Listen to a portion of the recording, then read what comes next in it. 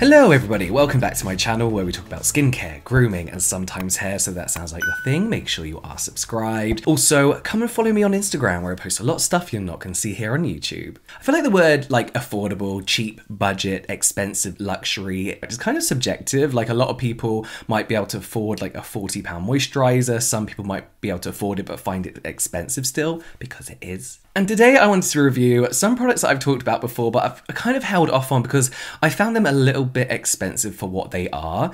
Um, and I wasn't actually going to make this video because I feel like it's a bit tone deaf at the moment where people are trying to save money. People aren't getting their monthly paychecks like we used to be. But then I thought, I bought all this before any of this happened. And what's better than seeing someone, spoiler, not enjoy all the expensive products they just bought? To really show you what a waste of money a lot of these expensive luxury skincare products can actually be. So yeah, I just thought I'd incorporate these products into my skincare routine this morning. Do I want to? Not really, but I'm, I'm, I'm going to show you these products and a little review. It's been a few months since I've tried some of these. So yeah, I'm going to give you my skincare enthusiast consumer level review. Um, I've not done a lot of research on these, so we're kind of going to talk as we go. But let's start off with the first product. I have toned, I have essences did. Essence did. I've used an Essence. And I'm going to start off with a product that's like not too expensive, but I do think it's a little bit pricey for what it is, and that is the Milk Makeup Cooling Water. At first, I was like, oh, is this like an eye cream? Like you just apply it under the eyes? But I saw on the website that you apply it, you can apply it everywhere. It's just like a cooling stick. So what I'm going to do is I'm just going to put this on a few patches on my face. Um, not under the eyes because I have an eye product coming for you, but just like a few patches where I feel like my face always gets really warm, and actually a few dry patches as well um, and I'll explain why. So this contains caffeine, and it's kind of like marketed as um, helping reduce puffiness and dark circles. There's no real research between um, behind caffeine actually being able to do that in the long run. Temporarily, yes, it can help. Not in my experience, however. This does have a really nice cooling effect to it. Um, is it something like everyone definitely needs? Not particularly, no. Um, I think in summer this is going to be so nice just to like roll over my face occasionally. Um, and I have had this next to my laptop when my eyes have been getting like tired and I've been overworking and overworking. You can never overwork when you're freelance. So it's been nice and soothing. Is it worth 20 quid? If you have the money to get like a nice little extra skincare product, yeah, maybe. Um, not as expensive as the rest of the skincare we're about to try. I just wanted to throw that in there. So the first real expensive luxury product I want to introduce you to is the Chanel Le Lift. This is um, an anti-wrinkle firming eye roll-on and eye patches. These eye patches set me back about 105 pounds. Absolutely fucking ridiculous. Let's be honest. What like I, so this comes in two parts. You have like a roll-on, kind of like under eye cream, and then you have the patches. You get quite a few of these in the box, to be fair. But I first saw this on a Harper's Bazaar Go to Bed With Me video. I can't remember who it was. It might be one of the Hadid sisters who was using this. No, it wasn't. Can't remember. But then I've seen this going around social media quite a bit, and I really do think it's like the epitome of what luxury skincare and clothing has become is literally just flashing a tag and a label, despite whether the product is actually any good. I feel like brands like Chanel, I'm going to a bit of a fashion rant now, but I feel, feel like brands like Chanel, Burberry, used to be able to buy your staples from them, you know? Um, like the Burberry trench coat, a staple, and it would have been the highest quality, and you would have it for years, and you could pass it down to generations. Whereas I now feel fashion is very trend led, so you don't quite get um, the quality that you used to. And even if you do, it's a trend. It's going to last, what, a couple years? Okay, so I'm just putting this on like I have the money to buy another one in a month's time. So I'm just going to read from the website. Um, it says that these patches and roll on gives you immediate revitalization and radiance. It's not happened yet. They go on to say that Chanel research has isolated a remarkably potent extract of the Edulis Morning Glory created the signature Le Lift ingredient 3.5 DA. It, it, sounds like a lot of fake science to me, you know? The eye contour appears instantly smoother and more radiant. Hmm. Fine lines are visibly softened. Signs of fatigue look diminished. I can't speak for the fine lines because I don't have any. Darkness not really either. So, you get the little patches here. They look cool. They've got the word Chanel written on them, which I guess is half the reason people want to buy them. And it covers, I guess, your areas of concern when it comes to um, eye wrinkles, fine lines, darkness, all that kind of stuff. They just, the problem I had with these, look, is they just don't stick in that corner. They just don't stick. They're very, very cooling. Um, they literally feel like the Milk Makeup ones I showed on my channel like not that long ago. Um, as far as cooling sensation goes, um, texture, everything, they don't feel like anything special. I have to be really, really honest. I'm looking at the ingredients and we have some basic humectants in the um, eye roll on. Um, nothing that you wouldn't see in a, a, moisturizer or a normal eye cream. You've got um, seed extract, um, which is actually known for its ability to like firm up your skin. A few plant-based anti-aging ingredients and antioxidants like what's this one? Batatas root extract, Saccharomyces something extract mushroom extract and agar, which is algae, I believe. I mean, they all seem nice. There's a lot of fancy extracts and wordings in there that like seem nice, but for a hundred pounds worth of nice, I don't think so. I I literally think you're just paying for a logo. So I'm down to like a few. I've got like two more of these left. And obviously the eye roll on is going to last longer than the patches um, as far as usage. I've been using it for a month and I've not really, nothing really happened, you know. I don't know, but you know, it's what you expect from Chanel. People who buy Chanel can afford shit like this. Like, it's it's fun, I guess. I don't know. I'm gonna leave this on for a minute. Okay, it's been 10 minutes. So yeah, whilst I can't really speak for um, the anti-wrinkle side of it, I can speak for the dark circle side of it. And within a month of usage, I've not really come to enjoy these or even think they're worth the money. So we're gonna slip those off. It does feel like a waste.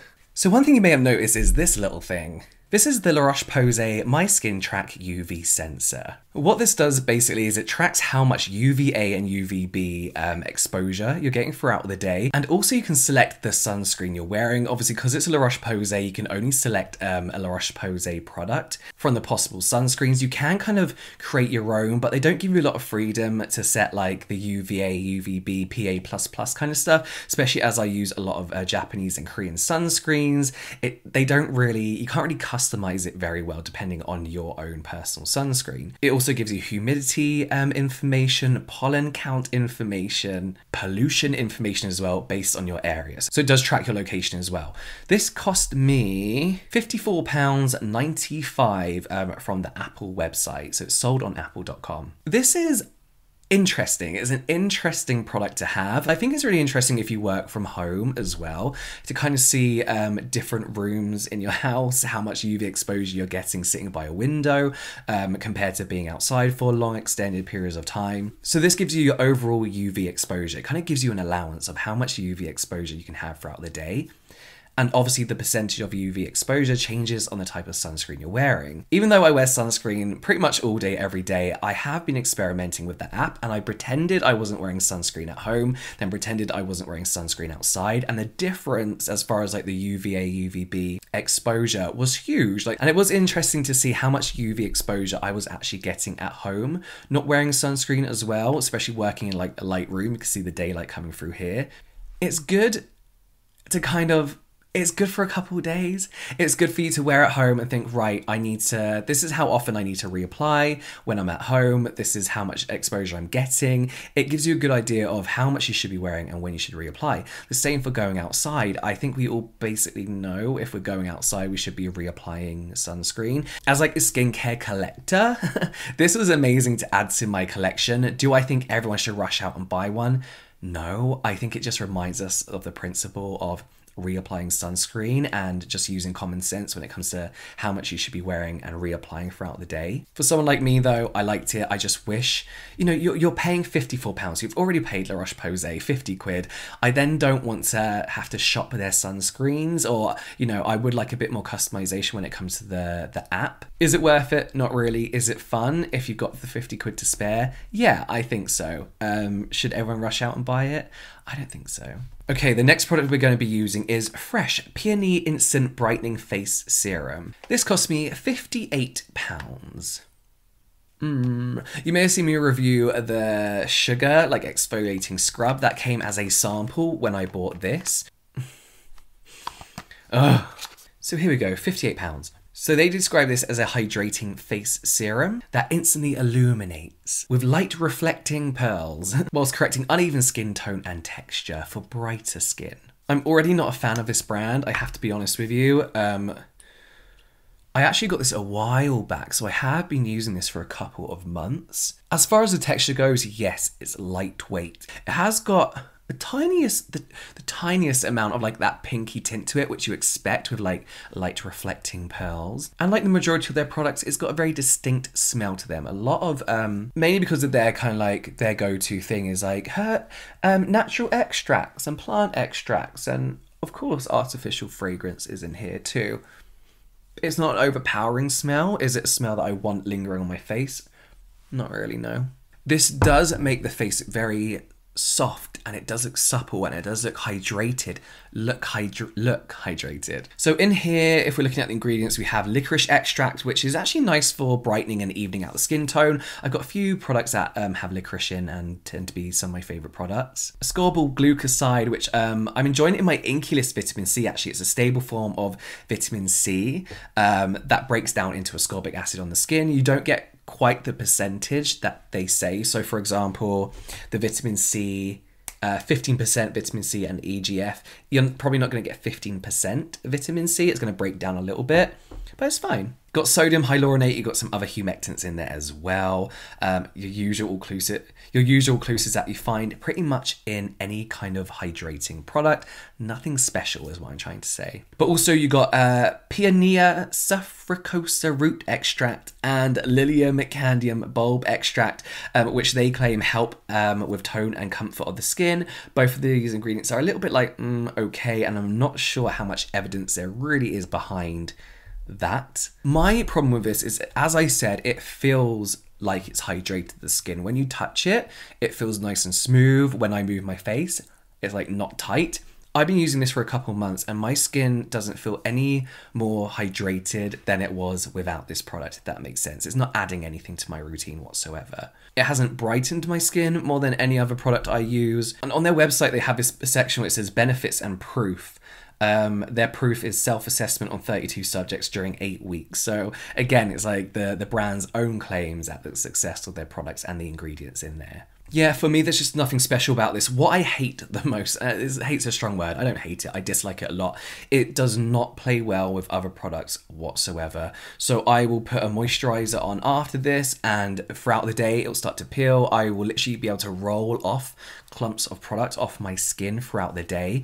Um, it does feel like it's constantly sitting on the skin as well. Like I can feel it like hours after. In my personal opinion, there's nothing in here that warrants it being so expensive. Formulation is everything. I don't mind paying extra money for a really nice formulation. However, I do not like this formulation. You look at some of the reviews as well, and a lot of people are very disappointed in the way it works with their moisturizer and their makeup. In fact, it just doesn't, it feels like a final layer more than anything. It's not something I want to build upon. Fresh for me is a brand now that was a bit kind of like two strikes and you're out. Um, I, I have no want or need to try any more of their products. So I got a sample set of products from Tatcha, Tatcha. I never know how to say it um, because I didn't want to pay full price for their products. Um, after I mentioned in one of the brands I'll probably never review video that asking basically if I should give this go, it was literally 50-50. Like people were like, no, don't bother. It's nothing special. Other people like it completely transformed my skin. I do sometimes think that that's the placebo effect of having a more expensive product which I fall victim to sometimes if I because you want to like you know you want to know believe it's doing something extra special for your skin.